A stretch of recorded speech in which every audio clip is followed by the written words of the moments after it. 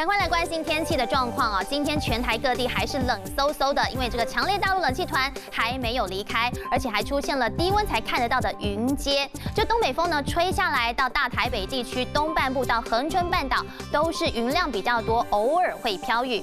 那么今天呢，平地最低温出现在南投的中寮，只有六点八度。另外呢，马祖呢都只有这个嘉义跟云林都是八度以下的低温，一共有四个县市今天创下了今年入冬最低温。的记录，所以呢，气象局也持续针对了这十四个县市发布了黄色灯号哦，包括了北北基、桃竹苗，还有中部的中彰头、南部的嘉义跟离岛的金门。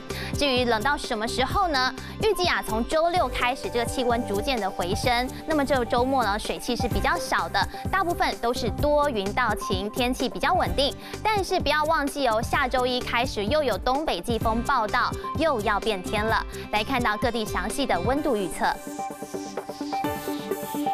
首先来看到基隆是多云，那么今天台北新北高温十七度，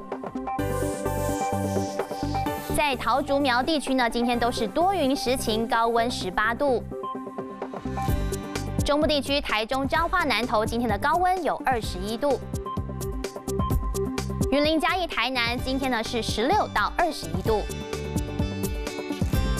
往南走，高温更高了，屏东有二十四度。东部地区今天要注意有降雨的几率，大约是百分之二十。